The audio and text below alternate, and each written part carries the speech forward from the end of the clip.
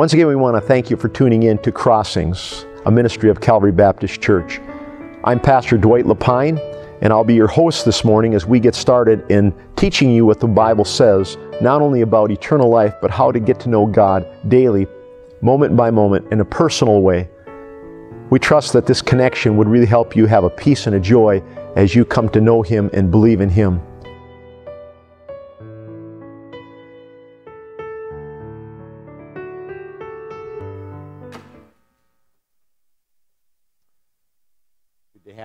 Today. I'd like to have you take your Bible, and we'll begin with by turning to the book of 1 Corinthians, chapter 14, and let me read this portion to you as we once again think about this idea and the subject of tongues. We are in the subject for a few weeks because we are chapters 12, 13, and 14 deal with it quite a bit. And so the Lord obviously has a lot to say about this subject, and so we need to spend some time with it. In 1 Corinthians chapter 14, beginning in verse 1, follow after charity and desire spiritual gifts, but rather that you may prophesy. For he that speaks in a tongue speaks not unto men, but unto God, for no man understands him. Howbeit in the Spirit he speaks mysteries. But he that prophesieth speaketh unto men to edification, to exhortation, and comfort. He that speaks in a tongue edifies himself, and he that prophesies, prophesieth edifies the church. I would that you all speak with tongues, but rather that you prophesy, for greater is he that prophesieth than he that speaks with tongues, except he interpret that the church may receive edifying. Now, brethren, if I come unto you speaking with tongues, what shall I profit you? Except I shall speak to you either by revelation, or by knowledge, or by prophesying, or by doctrine. For even things without life giving sound, whether pipe or harp, except they give a distinction in the sounds, how shall it be known what is piped or harped? For if the trumpet give an uncertain sound, who will prepare himself to the battle? So likewise, ye, except ye utter by the tongues, tongue words easy to be understood, how shall it be known what is spoken? For ye shall speak into the air. Let's have a word of prayer. Father, once again, we thank you for the time that we have to gather together to study your word and to understand it. Father, we pray that you would put it within us a heart that wants to be clear, to be able to share the gospel in such a way that people would understand it. Our world today does not seem to have any desire for the gospel, they have no need for the gospel. But Father, help us to be able to show them just the great blessing of having a God in heaven who loved us enough to die on the cross for us, that we can walk with you and know you. And Father, I pray that that would be something that would be evident by the hope that's within us. Once again, we're grateful for the blessing of the day and just pray that you'd help us to understand this passage. In your name we pray. Amen. To begin with, I want you to take your Bible. I know this is not in my notes and it's not on the board, but I want you to turn with me to Ecclesiastes chapter 8. I want you to look at verses 5 and 6 to begin with. Ecclesiastes chapter 8, verses 5 and 6. This, uh, this passage in Ecclesiastes I've thought of many times. Very interesting passage you understand that lo- love is part of the character of God. It's enduring, it lasts forever, it will never end. It's been an eternity past, it's been will be an eternity future. Love is the surrounding force. God is love. Therefore, that is, again, what colors everything we say and do should be in love.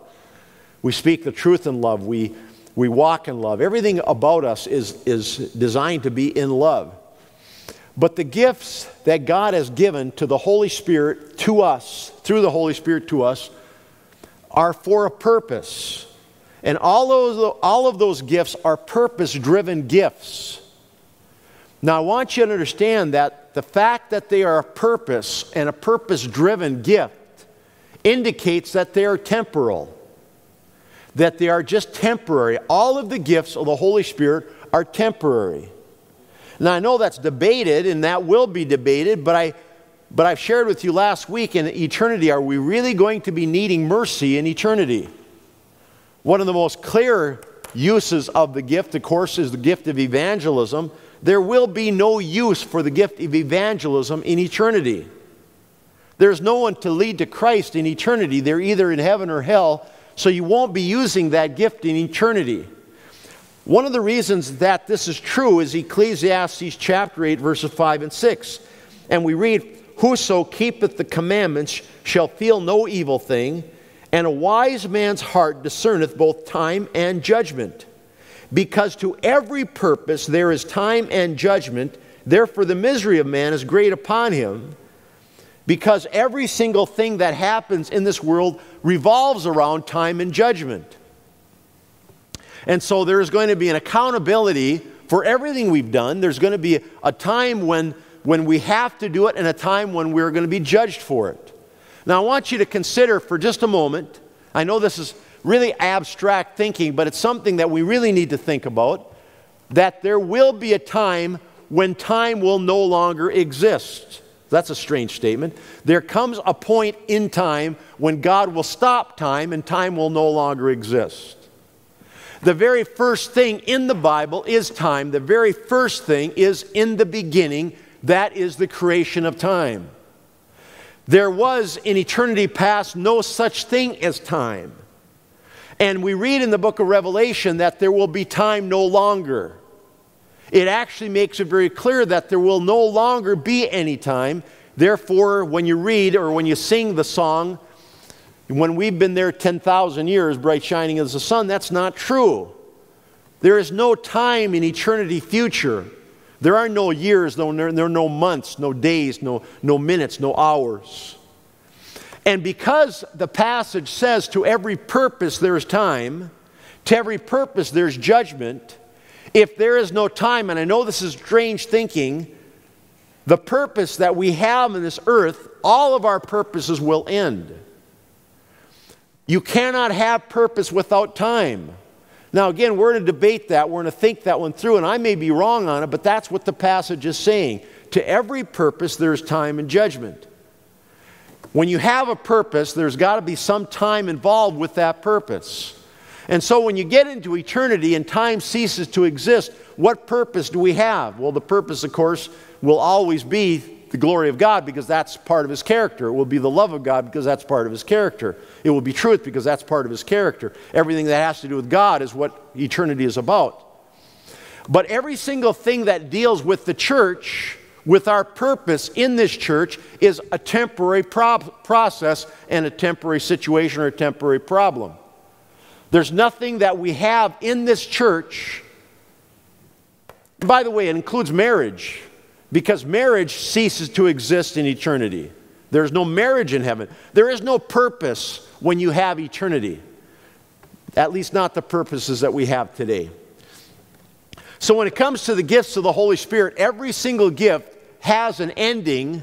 And so, some of the things I'm just sharing with you, of course, is apostleship. Apostleship had an ending. There, were, there are 12 apostles of the Lamb. God set up apostles. There were apostles Peter, James, John, Bartholomew, Philip, Thomas. There were, there were lots of apostles. There were 12 of them. But the gift of apostleship was given to the church in, in its infancy when there were no scriptures given yet, when there were no pastors, no deacons, no Sunday school teachers, there was no New Testament. And so the apostles had this ability to receive revelation from God and instruct an early infant church. And they used that ability of apostleship to instruct the early church. Prophets. We start with first foretelling, and of course, foretelling, there are many prophets in the Old Testament, many prophets in the Old Testament that foretold of future events. You have Jonah, Micah, Nahum, Habakkuk, Zephaniah, Haggai, Zechariah, Malachi, Isaiah, Jeremiah, Ezekiel, Daniel, many prophets in the Old Testament. But when it comes to the New Testament, we only have one prophetic book. The prophetic book of the New Testament is the book of Revelation. And of course, it is a book about prophecy, and it talks about coming events. But there were prophets in that time that told about coming near events, short term events, and it said there stood up one of them named Agabus and signified by the Spirit that there should be a great dearth throughout all the earth, which came to pass. That's a prophecy. And he gave that prophecy. It was by revelation of God to him to guide the church, and there were many prophets during that time. Now, it's not just foretelling, though it is also forthtelling in the New Testament And obviously, we have it in 1 Corinthians 14 5. I would that you all speak with tongues, but rather that you prophesied. And we're not necessarily talking about future events here. We're talking about God's revelation given to man in a forthtelling of prophecy that God gave to the church by way of revelation. And I'm saying that that also ended with the, the book of, of Revelation. We no longer have a need for having forthtelling of God's revelation. We have the gift of preaching, which takes God's revelation and gives it to people. But prophecy is God directly revealing His truth to us. My first point in my outline again today is it's all about edification. The first point is it's all about edification. 1 Corinthians chapter 14, verse 5, would that you all spake with tongues, but rather that you prophesied. For greater is he that prophesied than he that speaketh with tongues, except he interpret that the church may receive edifying. Prophecy is greater than tongues? No, unless there's an interpreter. If there's an interpreter, then they're equal. Then the church is receiving edification. If there is no interpreter, then the prophecy is not edifying the church. I mean, sorry, the tongues is not edifying the church, therefore, prophecy is preferred. I want to start with this. In the New Testament time, as you all know, they elevated rich men. Rich men were blessed of God. If you were rich, you were under God's pleasure. God was blessing you, He was giving to you. If you were poor, you were under God's displeasure. God was not blessing you. And most people during the time of the New Testament strongly believed that. If you were rich, you were blessed of God. If you were poor, you were cursed of God. And that went a long way with the gifts as well. There were some gifts that were more spectacular than others. And if you had these spectacular sign gifts in the church of Corinth, you were obviously closer to God and more blessed of God if God gave you divine revelation directly to you. And they raised up those people. Now, the greatest gifts were not necessarily the revelatory gifts, but they were elevated by the people, and the people would take those revelatory gifts and desire them so that they felt that they were closer to God. I want you to understand that the gifts are not designed to build my kingdom. They're designed to build God's kingdom. They're not designed for me to use the gifts to be able to edify and build up myself. Now, there's going to be debate on that too, that point, but I want you to understand that there are people who have used the abilities that God has given them to promote their kingdom. They really do strongly believe it. It says the blessing affects every part of life. You have been promised eternal life, healing, deliverance, and prosperity.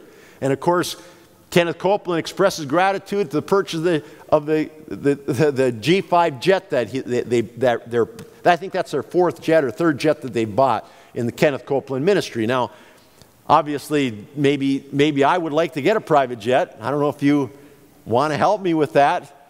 I have about 25 cents. That's seed money. If we can get a couple more dollars, that'll help. But he just says here the physical, it controls the physical. The spiritual life is not separate, it controls the physical. In other words, if you are close to the Lord, it will lead to physical blessings. This house here, of course, is Joel Osteen's place, but he says, I declare a legacy of faith over my life. I declare that I will store up blessings for future generations. My life is marked by excellence and integrity because I'm making right choices and taking steps of faith. Others will want to follow me. God's abundance is surrounding my life. God's abundance is surrounding my life, and they strongly believe that God's wealth, material wealth, is a sign that God is blessing them. And if they have more money, the more money they have, of course, the greater their ministry, the greater their blessings. And that's just some of the ways that people think today. Having said that, then you can understand in the New Testament how you would feel closer to God if you had a gift that was revelatory over something that was just plain helps or ministry. I can picture, now I've never, I've never spoken in tongues.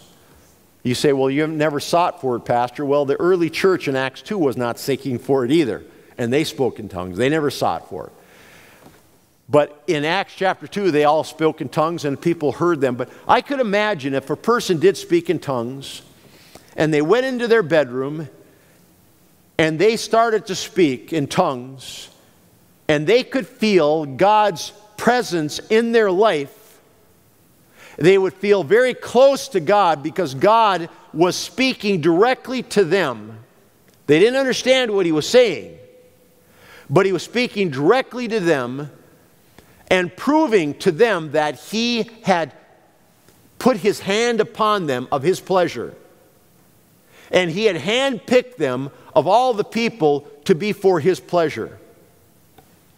And, and by the way, that's true of all of the gifts of the Holy Spirit. That's true of every gift.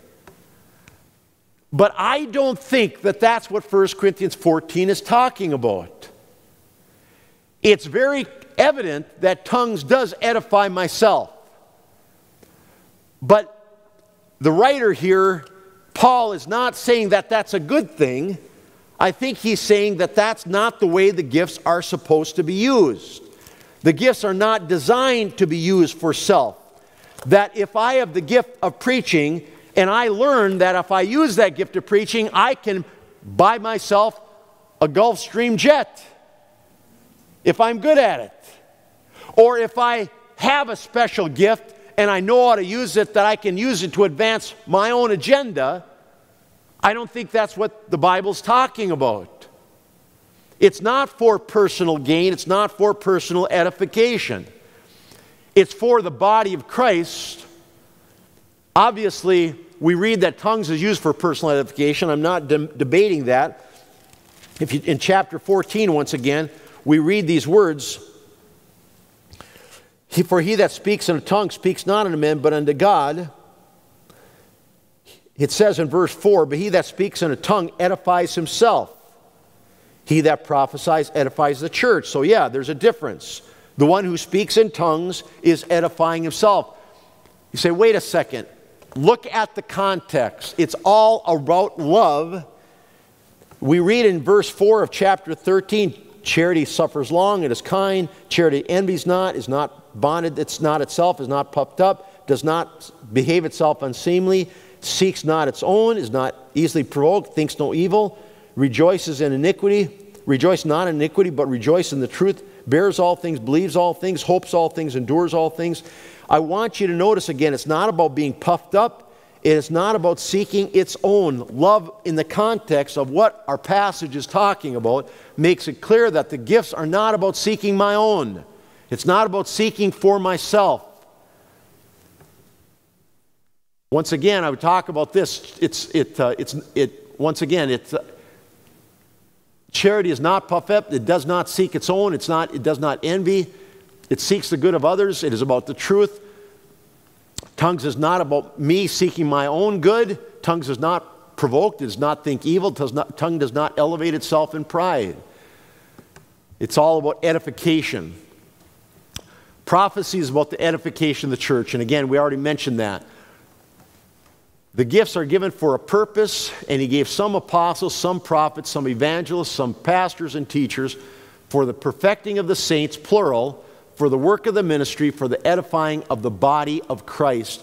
And this chapter, chapter 14, is making it very clear to us that he wants us to edify the church and not, not just edify ourselves. It's greater if you prophesy than he that speaks in tongues, unless you interpret, that the church may receive edifying. It's about the edification of the church and building up the church, not building up me personally. 1 Corinthians 14 32 says, The spirit of the prophets are subject to the prophets. And I want you to understand that when it comes to all of the gifts, God has given us these gifts that we are commanded to control. They don't control us, we control them. The spirit of the prophets are subject to the prophets. Now you can imagine, I don't know that this happens often, but I do think it happens. Balaam in the Old Testament had an ability to bless and curse. And Balak knew that. And Balak came to Balaam and he says, I know that the one you bless is blessed and the one you curse is cursed. I want you to come and curse Israel for me. Now, please understand that Balaam had the ability to control that gift. He had the ability to bless those that God blessed, and he had the ability to curse those that God cursed. We find that Balaam used that gift for the wrong reason, used it for the wrong purpose, and through that was able to curse Israel. And God cursed Balaam through that. But the spirit of the prophets are subject to the prophets, and it is probably true that we can use the gifts in an improper manner. That's the key here, isn't it? That people can use the gifts of tongues in a way that's not designed to edify the church, but edifies myself. And Paul is saying that's not the purpose. That's not the purpose that God has given to the church. The gifts are all given to edify the body of Christ, not to edify individuals. We're using it wrong. It's the wrong purpose. And the spirit of the prophets are subject to the prophets. Prophecy needs to have a distinction of the sounds. Now, brethren, if I come to you speaking with tongues, what shall I profit you if I speak to you either by revelation or by knowledge or by prophesying or a doctrine? I was waiting on the side of the road for the tow truck to come. It was hard to get the tow truck there. Peggy said, They're not going to come in this kind of weather, it's too hot. well, they finally came, but it was getting really, really hot. By the time they came, I had the wheel off, I had the starter out, I had the crank sensor out, and it would have been fixed in about five minutes. But anyway, but we were sitting there working it, and the tow truck drivers came, and I said, This is stupid. Why am I fixing this thing? The tow truck driver's coming. Why am I fixing this? Okay, forget that. I'm not going to fix it. Wait until the tow truck driver comes. He comes there, and, and I say to him, Okay, now I'm not going with you. I just want you to bring the truck to 925 First Street Northwest in Byron. He said, Yep, I'll get it to Byron. I'll get it to Brian. He said, I'll get it to Brian. I said, Byron. he said, Yeah, I got it. He didn't write it down. I'm thinking, ah. Oh, I have no clue if this guy's going to get it to my house or not. I have no clue if he knows where this, this is. He didn't write it down. A distinction in the sounds. You have to know my address. There are lots of addresses out there, and I'm thinking with Peggy, we're, we're coming home afterward. It could be anywhere in Byron. It could be in Bryan for all I know, if there is a Bryan. But the first thing he said, I'll get it to Brian. No, Byron. You know? Oh, yeah, Byron. Anyway, anyway, having said that, it's critical that there's a distinction in your sounds. You have to know what's being said. You know, over the years, religion has used religion for its own profit hundreds of times, thousands of times, tens of thousands of times. You, you know, St. Peter's Basilica in Rome was built by the money of poor people, it was built by indulgences. Tetzel would say the moment you would hear the sound of the coin falling into the cup, the soul of your loved one will leap out of hell. The moment God would hear the sound of your coin falling into the cup, and poor, poor people raised $5.4 billion in our would be equivalent to how much money we would raise today. $5.4 billion during that time with 46 million ducats that they, that they raised to build that. 120 years they, they built that, that cathedral. And they built it by saying that if you give money, your loved one will no longer be in hell. Can you really say that? Is it proper to say that your loved one won't be in hell if you give money? But again, it's, it's been kind of the way things are over the years, people want to build up mighty churches and build up their kingdom by use of gifts or use of, of let's say they have an ability to motivate people. If they could motivate people to change, if they could motivate people to get money, just think of the power they could have if they had the ability to motivate people with their words.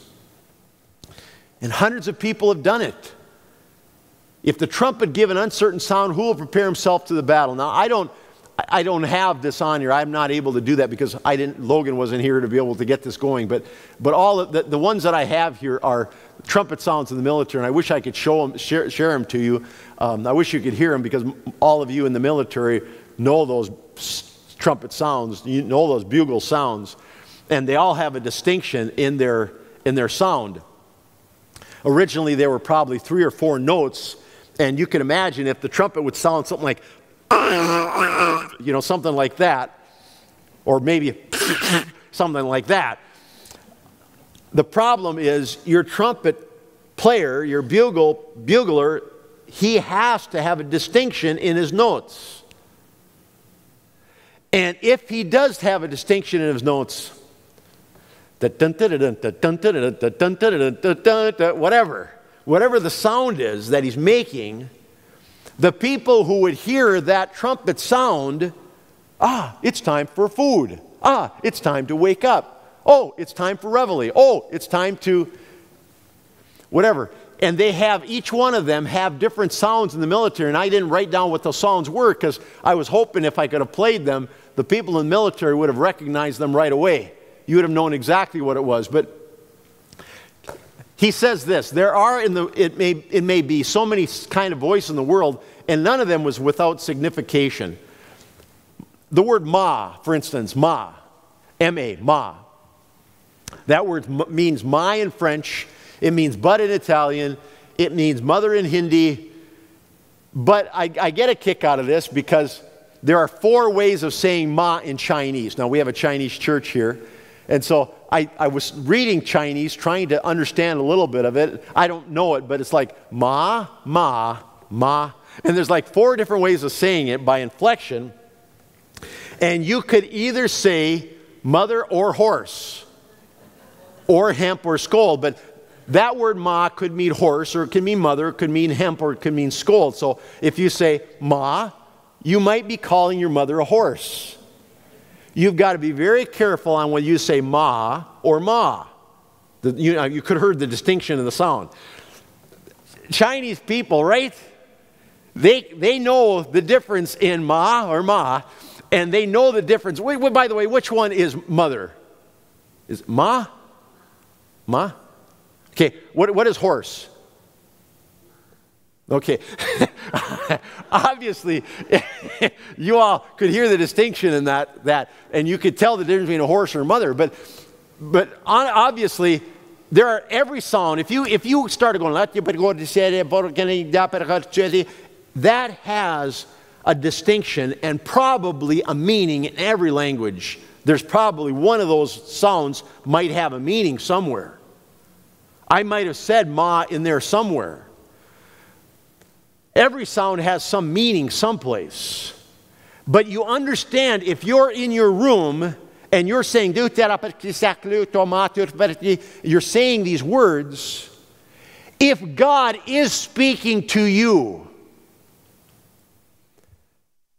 but you do not understand what God is saying, there is absolutely no purpose because what's really happening is God is speaking to God in His language, and God already knows what He's saying. So God does not need to talk to God. If God is going to talk to us, He needs to talk in such a way that we understand what He's saying. And it's what God did when He gave us the Bible. It's what He did in the Old Testament. It's what He did in the New Testament. When He gave us the New Testament, He gave it to us in Greek, which was a universal language of that day that everybody understood Greek and everybody spoke Greek. And so it was a common language. And by the way, He waited until that language was common throughout the world to give the Word of God so that it could be given throughout every single person on that earth. Now, there were people in Jerusalem in Acts chapter 2 that did not speak Hebrew. They were from many other countries and they came together and they heard the disciples speak in their own language wherein they were born. It was the distinct sound and they heard them and understood that it was the wonderful works of God. Not only did they understand thoughts and, and, and, and noises, but they understood what the meaning was. That is the wonderful works of God. You are proclaiming, I believe it was the gospel. Because according to 1 Corinthians chapter 14, if you're looking with me at verse 22, wherefore tongues are for a sign, not to them that believe, but to them that believe not. Prophesying serves not to them that believe not, but for them which believe. There is a purpose for tongues, and the purpose for tongues is not for the, the believers. The purpose of tongues was for the unbelievers because they spoke a different language. They didn't speak the same language of the church. And so people come in that don't understand your language. What good is it going to give them if they don't know what you just said? Every sound has a meaning, but God is saying to you, He that speaks in a tongue edifies himself. I would that you all spake with tongues, but rather that you prophesied. Greater is he that prophesies than he that speaks with tongues, except he interpret. Notice that the commonality edifies the church, that the church may receive edifying, edifies the church. The other is not edified. Let all things be done to edifying. Are you getting the point? He says it over and over and over and over again. The point of 1 Corinthians chapter 14 is what is the purpose of the gifts? It's to edify the body of Christ. It's not for personal accomplishment, for personal gain, for getting more money, to motivate people so that I will build my kingdom. It's not about seeking self. It's not about what makes me feel good. And unfortunately, what has happened in tongues, in the tongues movement today, it's become a personal prayer language and edification, and it edifies self. It edifies self. It does not contribute to the body of Christ. And that's why he says in this chapter pray that you may receive the ability to interpret or keep silent in the church. And again, I'm not making that up. This is what it says. Verse 28 But if there be no interpreter, let him keep silent in the church. Let him speak to himself and to God. And again, what am I saying? Because the spirit of the prophets are subject to the prophets he can still pray, he can still, but in the church, keep silent because that's not the purpose of tongues. The purpose of tongues is to edify the church. Now, now listen, I, I'm talking to Calvary Baptist Church. Obviously, this is a Baptist church. We believe in the Word of God, we believe in the, the purpose of the God's Word. But there are lots and lots and lots of churches out there that speak in tongues, that believe in tongues. I'm just saying what you need to do is look at the Word of God and see what it's saying. Is it saying what you think it's saying? It is not talking about personal self edification. The whole point of this is to edify the church, the body of Christ. My gift of preaching is not to edify me. Your gift of encouragement is not to encourage yourself. Your gift of helps is not to help yourself. Your gift of of uh, mercy is not to be merciful to yourself. Not one of the gifts is designed to be used individually. Every single gift is designed to be used to edify the body of Christ. And that's why we need the gift of interpretation if we're having tongues. In Acts chapter 2, they weren't seeking it. It came because there was a purpose, there was a need. There were multitudes of people there that needed tongues, they needed the language of the gospel. 3,000 people came to know Christ as Savior that day. It was not for personal edification. Tongues is for a sign not to them that believe, but to them that believe not. It was a purpose for unbelievers. Prophesying is different. Prophesying is for the church, for, to edify the church. And so everything needs to be done decently in order. We need to be looking at this chapter and saying, what does it say? It's about edifying the body of Christ. Once again, we want to thank you for tuning into our program. It's been a delight to have you. I trust that you understand a little bit more about what Jesus Christ did for you when He died on the cross. Salvation is not something that you receive because you're born into a family or because you go to church or because you're good. Salvation is a free gift, but that gift has to be received. If you have not received it, we'd like to have you take some time to talk to God and ask Him that He might be your Savior, you understand that you are a sinner, that Jesus Christ died for you, that you can know that you have eternal life by putting your trust in Christ today.